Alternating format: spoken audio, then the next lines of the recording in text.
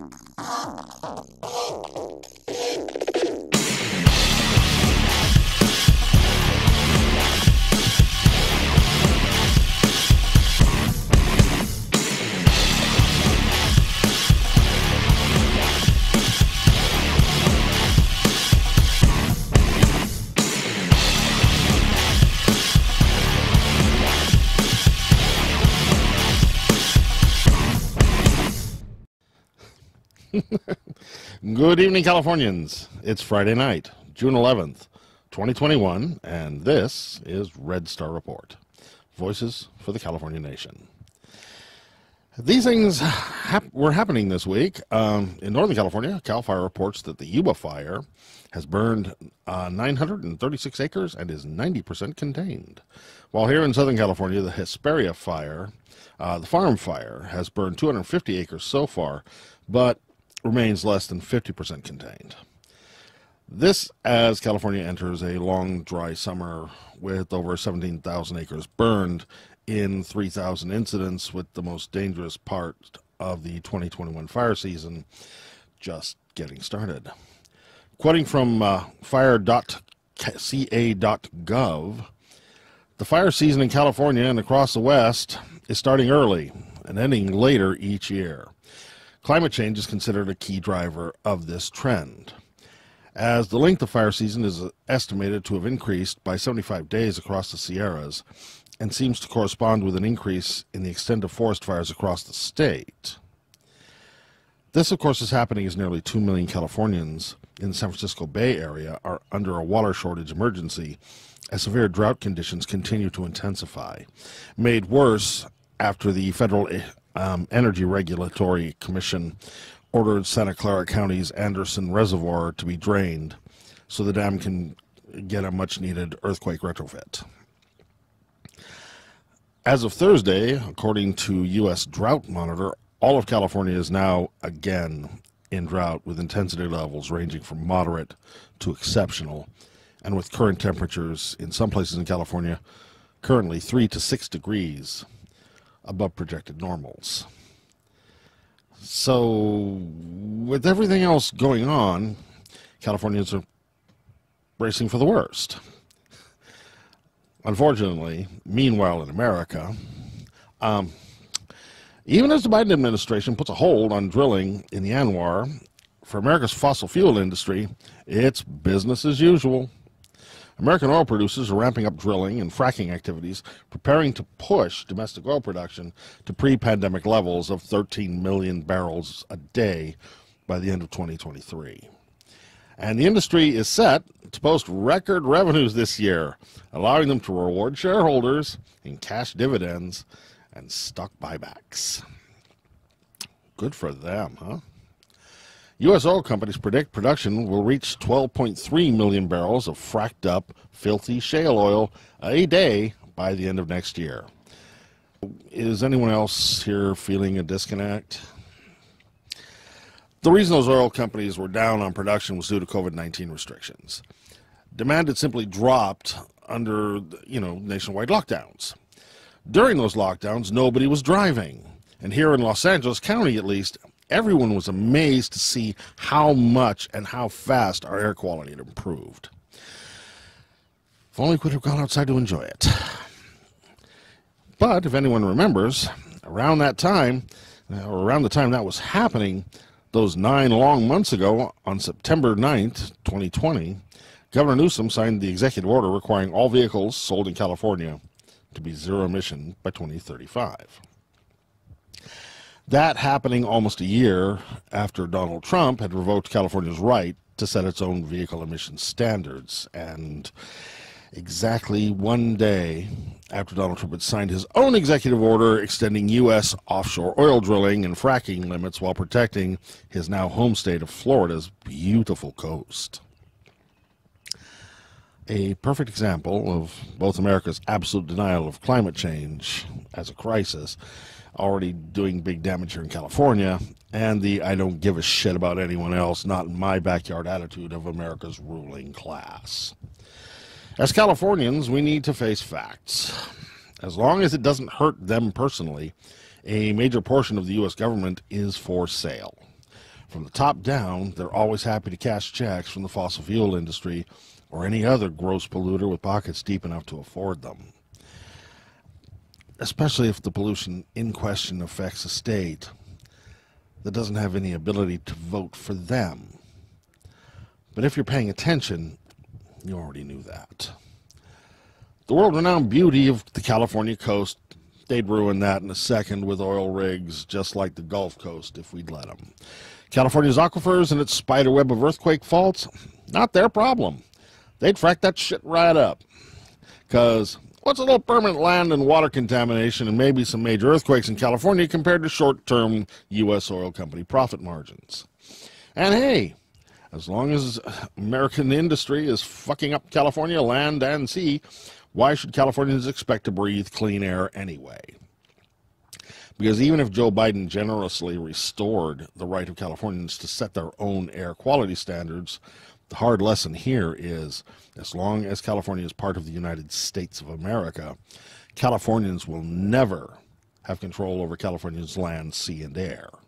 We will always ultimately be at the mercy of federal lawmakers uh, 2,500 miles away and just one national election away from possible environmental disaster. All this in a world where California is the renewable energy leader in North America and could be a global leader in the G8 against climate change. But many people in Northern California are still waiting for FEMA checks from fires that tore through our nation state three years ago. California farmers that feed the world with their harvests are facing water shortage catastrophes. Federal land management agencies in California remain grossly underfunded. And why? Because U.S. congressional action to address anything about climate crisis is stalled, gutted, inadequate, or just plain non existent.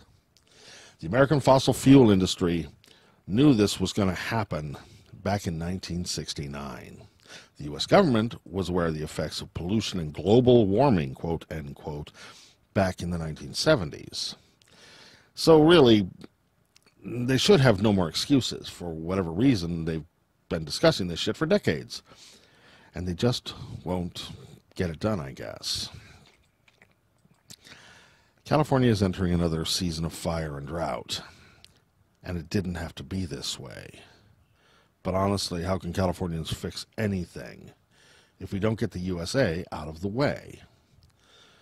Think about it. Coming up, we have a Red Star interview on activism in action with Shankar Singham. So, over to you, Shankar.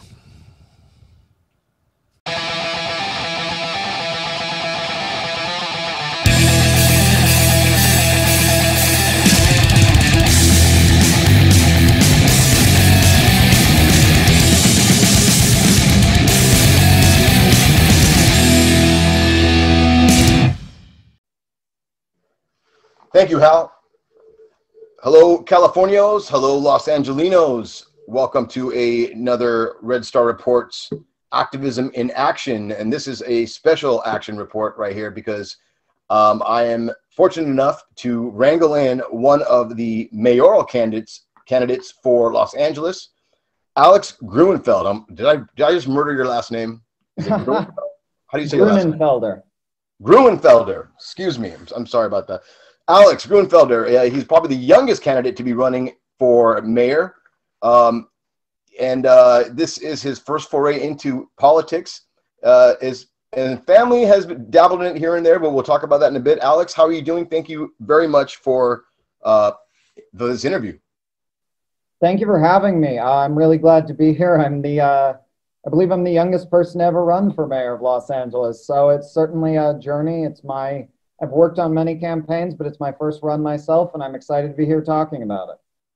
So yeah, Alex, I mean, you're the youngest. I mean, what what do you think would be? Why do you think Angelinos would consider you to be the, the best viable candidate to run for mayor to represent them? Absolutely. You know, my background isn't the career politician. My background, my background is in activism. I come from protest organizing.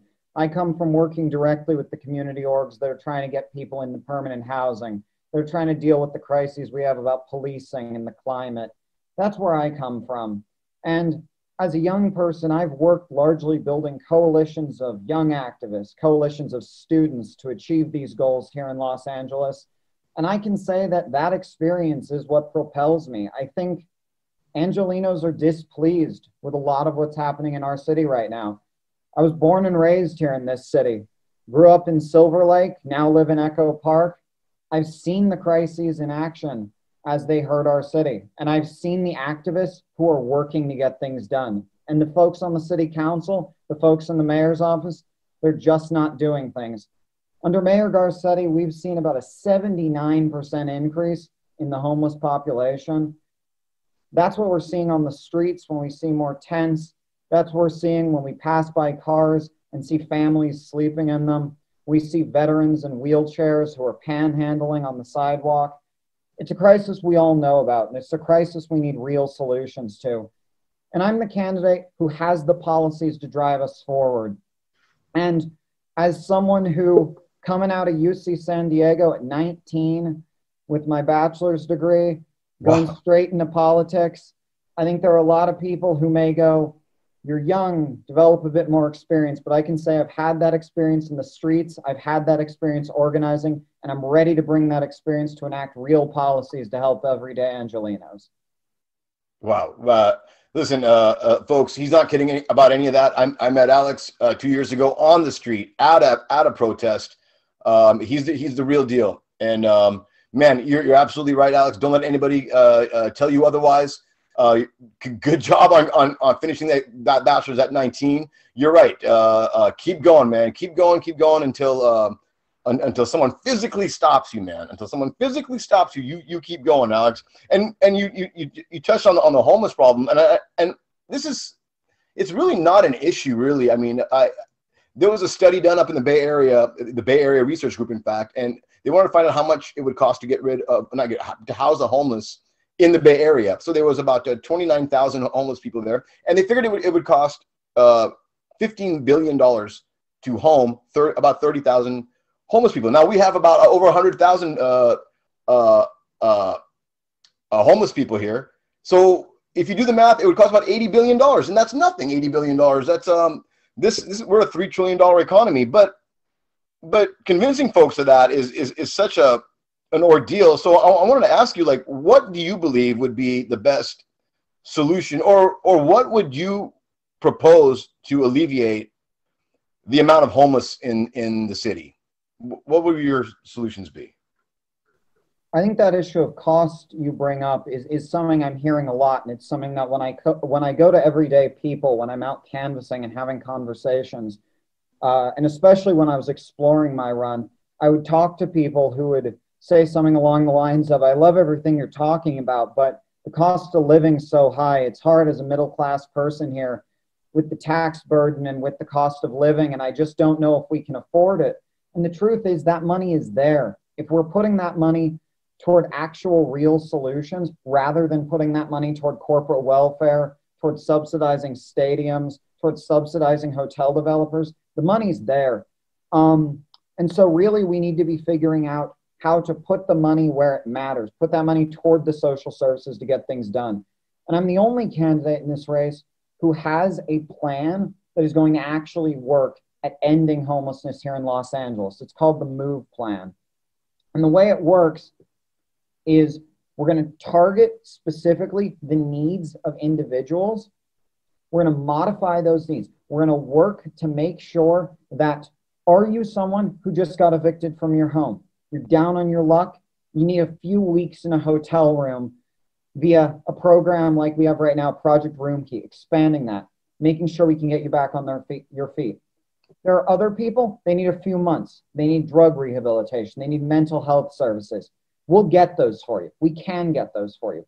In the mid 20th century, up until the administration of Governor Reagan, we had many of these programs to deal with drug issues, to deal with mental health issues that were publicly funded up and down the coast of California. We can bring those back. And for others, you're talking about people, people you see, people you talk to, you know, a double amputee vet, 70 years old on the street. There are people some of my opposition who say, well, we shouldn't just be giving free homes away. We should be doing temporary shelters. And I say, if that person isn't put into permanent housing, they're never going to be. They're going to end up back on our streets. And it is going to cost taxpayers less money in the long run to do the compassionate thing and get them into permanent housing.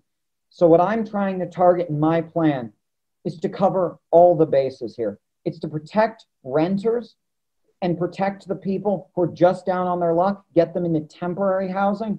It's about bridge housing for those folks who need mental health care, drug treatment, educational resources, help getting a job.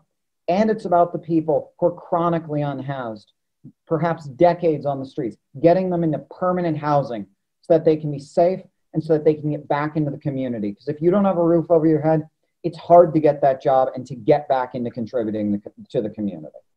Oh man, I, I, absolutely. I, I, was going to ask you this this next question on on on the future of California, but you you touched on on on these community services that need to be in, uh, implemented to uh, to alleviate the homelessness, and so and that actually just it's a it lends itself to go into what um, alternatives to policing, uh, the, the, uh, the, defund the police uh, programs that are happening all throughout the city and in Orange County, LA County, San Diego County, uh, San Francisco County.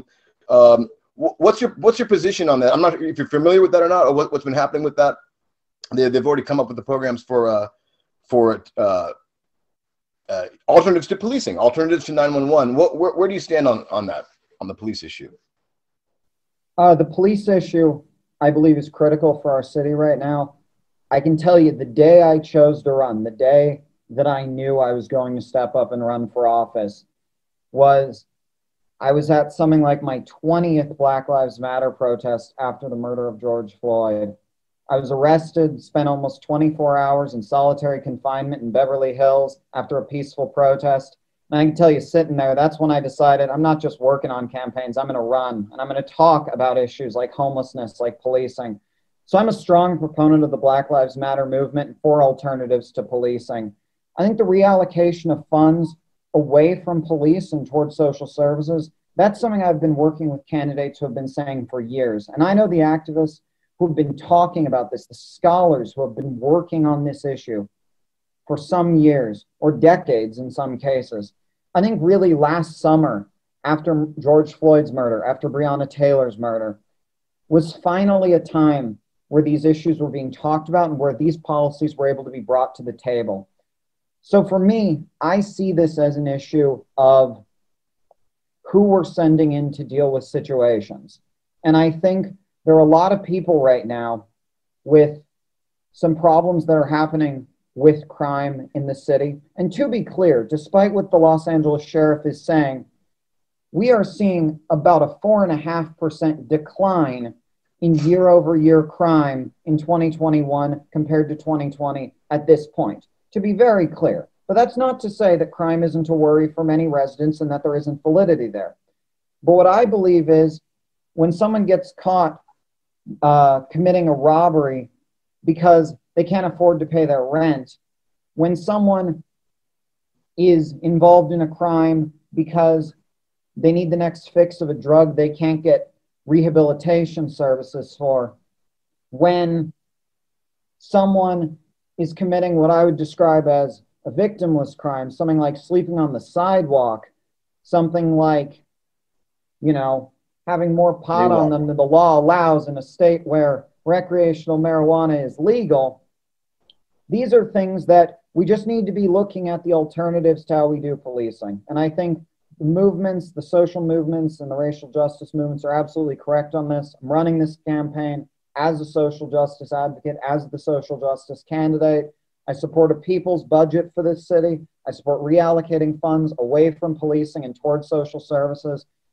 I worked to get George Gascon elected last year. I am proud of the work that he is doing and oppose his recall. And I, I'm a strong proponent of this future, a future in which we reimagine public safety, we reimagine criminal justice, because it's the path that's not only compassionate, that not only is going to save us money, but it's the path that's actually going to work at reducing crime.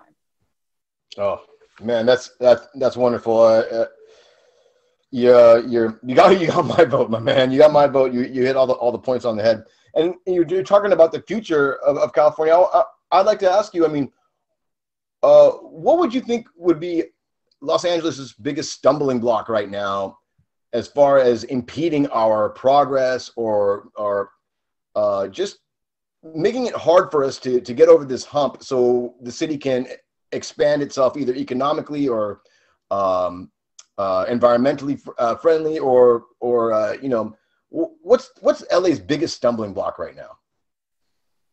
I think the biggest stumbling block that we have here in Los Angeles right now is we're a very divided city, and I think a lot of the country right now is looking at California, looking at Los Angeles, and has a view that sees us as a monolith, and we're really not. And one of our crises, I believe, is that we all have the same values to a certain degree, but a lot of people are worried about their neighborhoods and they have very, very different perspectives on how to change things. And so I think we need to show that the progressive policies are not just some compassionate, sort of willy nilly proposals thrown out by leftists. I think we need to show that these progressive policies are the ones that are going to work because none of us want to see people sleeping on the sidewalk in front of your small business. Nobody wants to be worried about taking their kids to the playground at the park. Nobody wants to be worried about their city in this way. And I think that there is often this divide between the so called NIMBY culture in Los Angeles and a lot of activists, this not, a, not in my backyard mentality. But the truth is, we need to start making these strides that are actually going to get things done. Because if you're willing to allow affordable housing to be built in your neighborhood, even if you're a little bit concerned about it, and I understand that there are concerns here, know that if there's affordable housing in San Pedro, that there's not going to be homeless people in tents there. Know that if you're willing to put that money forward to allow for a drug rehabilitation clinic, a safe injection site, a facility to deal with these issues, to deal with drug addiction and mental health in a way of healthcare. Even if you may be nervous in your community for whatever reason, know that it means that there's not going to be an unhoused person shooting up on the sidewalk. Really, I think that we need to come together as a city and know we're a city. We're not a suburb. We're not a rural area. We're a city. We're a city of more than 4 million people now. And while I'm running to represent that group of 4 million people, I'm doing it because I think that we all have the same values and we just need to come together about the policies that are actually going to make our neighborhoods safer, stronger, and better for ourselves and for future generations. Oh, right on. Alex, Alex, why don't you uh, give us your website, your, your social media? Where can people uh, uh, find your information at online? Absolutely. I am on Facebook, Instagram, and Twitter at Mayor Alex LA, and I am mayoralex.com. You can check us out there, sign up to volunteer, donate to the campaign. We are a fully grassroots effort, no special interests, no PACs. So we need your help. Come join the movement. And we're going to put those links up on the on the uh, on the comment section below or in the description below. Uh, go ahead and, and please go on his site, go on his site and, and, and donate what money you can because he's not getting money from he's not getting money from the Dodgers, folks. The Lakers aren't aren't giving him any money either. So so like some other candidates are. Neither neither are the cops for sure. So please, um, if, if you're an activist, you know exactly where he's coming from. Um, and if you're an Angelino that, that's tired of your neighborhood, um, uh, seeing the homeless there and, and, and want a legitimate uh, a way of, of, of solving that issue without being a brute, um, let's listen to Alex's plan. It, it's it's the only way to for it to work. So, Alex, thank you again very much for uh, uh, doing this interview, my man. Um, I'll be keeping in touch with you and following your race, of course. And uh, man, be well, man. Thank you. Thank you. Great to be here today. This is uh, Shankar for Red Star Report. Hal, back to you. Thank you, Shankar. That was a good interview, and I, I think he's, I think he's got a future. Wow. Well, okay. Next up, talking points.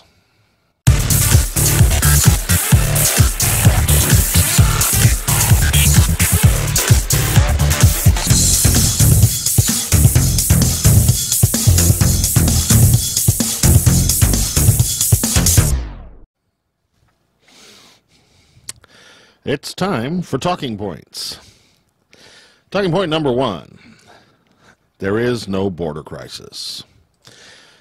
On Monday, June 7th, former Senator and Californian Vice President Kamala Harris gave a speech in Guatemala telling would be immigrants from Central America do not come to the United States a bluntly imperial statement considering the decades of U.S. foreign policy and constant interference, regime change, and economic destabilization in Latin America that have a lot to do with the socio-political um, situation that drives refugees and immigrants to the U.S. southern border in the first place. Um, her warning probably won't change the minds of hopeful immigrants desperate because of poverty or because of the violence and corruption in countries like El Salvador and Honduras. Just telling migrants not to come fails to address the involvement by the U.S. government and multinational corporations in Central America creating hardships that spur mass migrations. Of course, Harris delivered her foreign policy speech to Latin America from Guatemala, whose president, Alejandro Giammattei, is friendly with the new U.S. administration a Biden administration that most Californians think has been too slow to reverse Trump's hideous immigration policies, including the caging of large numbers of children uh, formulated by ultra-conservatives who temper tantrum about immigration crises to justify their hatred of brown people. Still, the United States will continue to enforce Trump's implementation of Title 42 as one of the most restrictive immigration strategies ever implemented at the U.S.-Mexico border. Kamala Harris, a daughter of immigrants, said, don't come. Trump said, don't come. And if you come, we'll separate you from your children. So saying don't come hasn't actually worked yet. But it does tell the world that America remains cruel and refuses to take responsibility for the mess it's made in Latin America. Um, talking point. There is no immigration crisis at California's border. Trump's wall was just a white supremacist campaign promise to his intolerant base, a testament to American fear and cruelty, and a permanent monument to Trump's bloated ego that defies the values of all true Californians. There is an American-made humanitarian crisis at the border created because of white replacement fears and implemented in the name of maintaining a barely veiled racist delusion that the Southwest was somehow ever going to act as a walled-off bastion for an Anglo-Saxonized America. Let me ruin that book for you. In the long checkered narrative of California, and the rest of the Southwest for that matter, it was never going to remain majority white. Historical, biological, geographical, sociological, environmental factors they all align against that. So speaking as a Californian, in this increasingly diverse nation state, do we need to help Latin American refugees and immigrants? Of course we do. For growth and development as a nation, do we need immigration into California? Of course we do. Is putting kids and their families in cages ever a good thing to do? Of course not. Do we need cruelty and horror to protect our border? Of course not. And I don't care what Kool-Aid she may drink or what U.S. political expediencies she's catering to. You wouldn't think that Kamala Harris, a former California senator, a daughter of immigrants, California born and raised, wouldn't need to be reminded of this. So let me be clear. If any California official that has left our nation's state to serve the U.S. federal government still supports these cruel immigration policies, when your tenure as a U.S. official is over and you're considering returning to California, don't come. Really, don't come.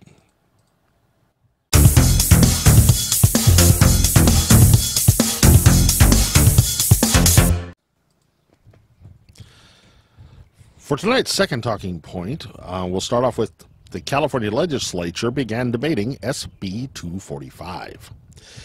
This bill, if enacted, would eliminate out of pocket expenses such as copays and deductibles for abortion and related services, including counseling. The measure approved by the California Senate and headed to the Assembly would apply to most private health plans regulated by the state of California. Even as most of America, spurred on by constant pressure from evangelicals, is trying to make it harder to get an abortion. This year, 560 new abortion restrictions have been introduced in 47 of America's red states, and 82 of them have already been enacted. This is one of the highest numbers of so called pro life uh, restrictions adopted in a single year since the Roe v. Wade ruling of 1973. California State Senator Lena Gonzalez from Long Beach, yay, Long Beach, the author of California Bill SB 245 says it's tough to know what your reproductive rights may be in question again after it's already been decided for 40 years. So we're taking a stance not to just, or not just to make abortion available, but to make them free and equitable. Of course, California's pro life conservatives say that looking out for the economically disadvantaged, because they can't even say the word poor, is repulsive and that the best we can offer them is a free abortion, California should simply make birth and maternity care more affordable instead. Which is not a bad sentiment. Except that everyone knows that those same somebody think of the children conservatives would fight tooth and claw against any California universal health care measure, making that entire argument pointless. Talking point on choice, equality, and even rape. As long as California remains part of the United States, the rights of California women to control their own lives and bodies will always be just one Supreme Court decision or federal government vote from being taken away. California, being the most enlightened nation state in America, already offers broad protections for abortion, requiring health insurers uh, to cover abortions, and most enrollees in the state's Medi-Cal program pay nothing out of pocket for the procedure. So SB 245 would just bring most health insurers in California in line with these practices. In contrast, though, SB 245 can't apply to millions of Californians whose health insurance plans are regulated by the federal government. Just as the Supreme Court is taking up a challenge to Roe v. Wade this fall, where its overturning is likely preparing for this inevitability, total abortion bans in Oklahoma and Arkansas, with bans on abortion after six weeks in Texas, Idaho, South Carolina, and Oklahoma, have already passed this year, making California's SB 245 a true, if simple, statement of independent dissent. So celebrate. Because for Californians, this is already settled. The reproductive rights of Californians are essential human rights and the protection of those rights are a California value, at least until the U.S. Supreme Court overturns Roe v. Wade, anyway.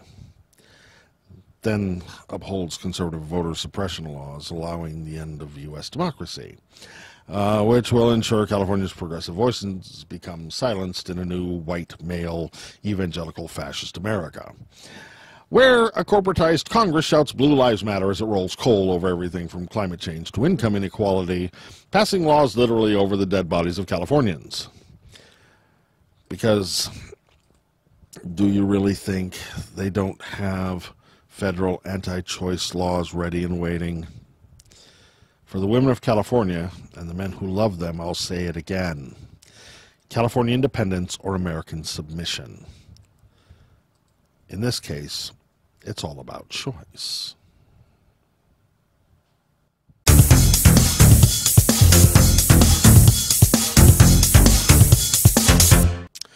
Well, that's it for this week. As always, check out our website at www.redstarreport.com. Transcripts for talking points will be posted there. Also, be sure to subscribe to our Red Star Report YouTube channel and go find our Red Star Report Facebook page, Twitter, Instagram accounts, etc., etc. Because if you want a real California Independence Movement media group, it's all about the algorithms. Our thanks to you and to all our Red Star Rebels for watching. Have a great weekend. We are Red Star Report.